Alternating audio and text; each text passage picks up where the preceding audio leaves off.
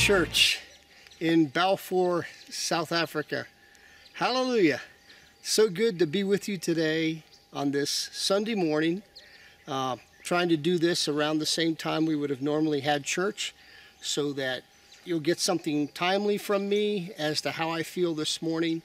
And it's an overcast day today. The sun is not out, uh, and it usually is here in South Africa.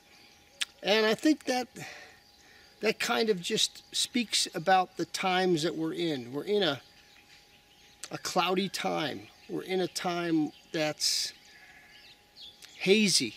Uh, we don't know what's coming down the pike, do we?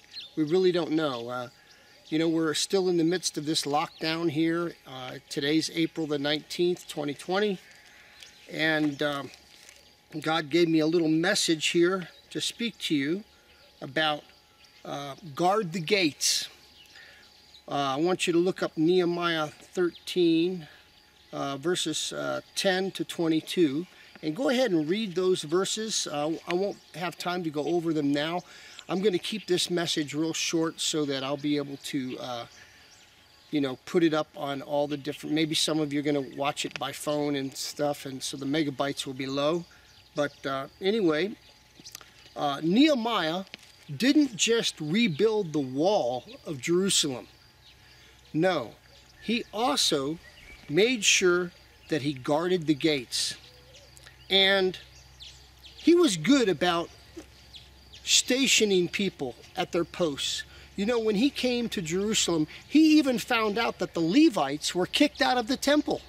The Levites were the ones that were supposed to be the priests. They were no longer doing their priestly work. They they were sent back to their farmlands and they were tilling the soil. They weren't even in the ministry anymore. And Nehemiah said, Look, this is not gonna, this isn't gonna go. So he brought them all back. He brought the Levites back. And it says in verse uh, 11 So I rebuked the officials, the ones that were in control, the powers that be at that time, and asked them, Why is the house of God neglected? Then I called them together and stationed them at their posts. Talking about the Levites, he stationed them at their posts. And that's what God wants to speak to us today. He wants to station us at our posts. Each one of us has a place in God's plan. There's nobody, not a person in the world, that doesn't have a post. Amen. Isn't that great? You know, I was in the military for many years. And even a, a buck private, uh, somebody that's really the bottom of the barrel, he had a post. Whether he was a guard at the guard post or whatever he was doing, if he ha had KP duty, I, I, did a little bit of KP duty uh, in the Gulf War back in the uh, Gulf War. You know, I don't want to come home and tell people, hey, I was uh, cleaning pots and pans while some of the guys were in the front lines shooting and, you know, doing the real war thing. But uh, we need everybody. We got people that are on the front lines. I was in a maintenance unit. So we maintained the tanks. We did a lot of the maintenance that, that kept the guys on the front line. So that's where, where our company was. Uh, we were just about 30 miles from the front line. So I know what it is. What God wants to tell you today is you're just to be stationed at your post and be ready. And the other key God wants to share is that Nehemiah, like I said, he, he stationed the people at the post, but he also told them to guard the gates. Guard the gates. Listen what he says here. He said, Nehemiah said, In those days I saw men in Judah treading wine presses on the Sabbath and bringing in grain and loading it on donkeys, together with wine, grapes, and figs, and all other kinds of loads. And they were bringing all of them into Jerusalem on the Sabbath. Therefore, I warned them against selling food on that day. Men from Tyre who lived in Jerusalem were bringing in fish and all kinds of merchandise and selling them in Jerusalem on the Sabbath to the people of Judah. What did, what did Nehemiah do when he saw this? He said, I rebuked the nobles of Judah That's the powers that be. He rebuked them and said to them, What is this wicked thing you are doing, desecrating the Sabbath day?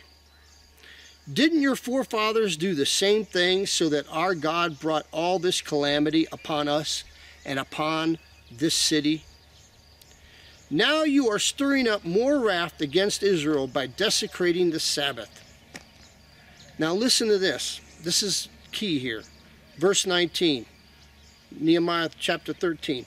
When evening shadows fell on the gates of Jerusalem before the Sabbath, before the Sabbath, when the evening shadows fell, I ordered the doors to be shut and not opened until the Sabbath was over.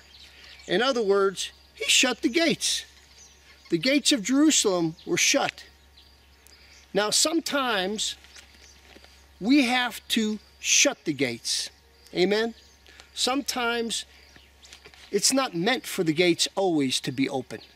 And that's the problem with a lot of the nations today. Uh, my homeland of America, we have the borders wide open, right? Uh, even in this country, a lot of the people from northern Africa just come down over the borders. And what little jobs there are here, I mean, there's almost 30% unemployment as it is in South Africa. You know, these people come down and they even take what little bit of prosperity there is here. And yeah, Jesus loves everybody. We, we love everybody. But I mean, there is a time for a country to have sovereignty and to shut its gates. That doesn't mean we aren't to give foreign aid and bless other people and be a hand of goodness, but a nation will lose its identity. And Jerusalem was losing its identity. Not just that there were foreigners coming in, but what they were losing their spiritual identity by breaking the Sabbath. We just need to be in prayer because God is still on the throne. And we just need to, in the name of Jesus, just agree with me. Lord Jesus, we just come against this COVID 19. We come against this infection that's spread upon the world and spread upon South Africa. And we just plead the blood of Jesus, Lord God. We come against it in the name of Jesus. You are no longer welcome. Go back to the pit of hell where you came from. Be gone in the name of Jesus. Hallelujah.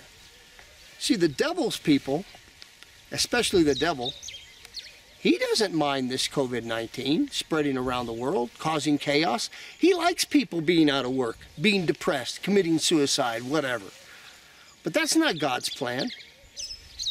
You know, God in the Garden of Eden gave us free will, whether we were going to eat the fruit of the tree of knowledge or not and we decided to eat it.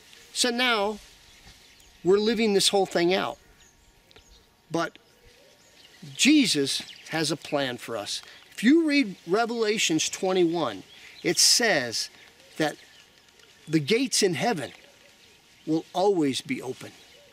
That's found in Revelations 21, verse uh, 25. Chapter 21, verse 25. The gates of heaven, because there will be no more darkness there.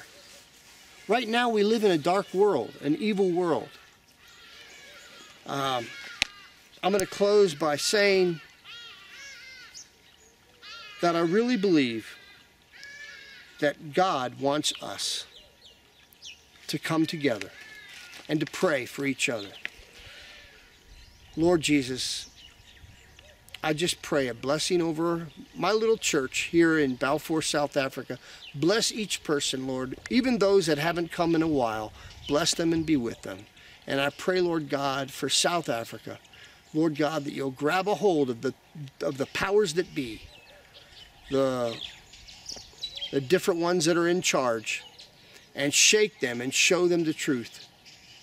And Lord, I just pray that this country will wake up this, I just pray for revival in South Africa, and I pray for revival in my home country of America.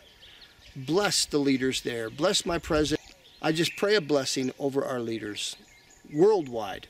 Everyone needs wisdom, even in Europe and even Chinese, all these leaders. We just pray that God will give them wisdom in Jesus' name.